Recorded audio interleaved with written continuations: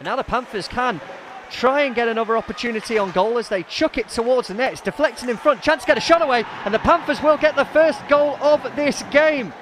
On top on the face-off dot, but does go all the way down the ice. They'll have to start in their own zone. As Earhart goes under, and there's a chance to get a shot away here, and the Panthers capitalise on the mistake Just to knock it behind and away from any initial danger, but Hare will chuck it towards goal. And it is a goal for the Panthers. A bit of a delayed reaction there.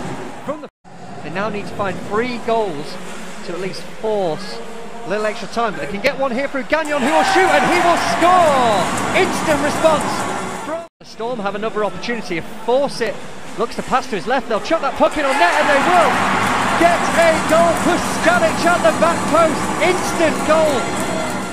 Sees the Storm dump that puck in behind the net and a dangerous pass there. Get into its intended target. even better now, Talbot can have a shot on goal and Talbot. Ulmer happy to hold his man off and wait for support.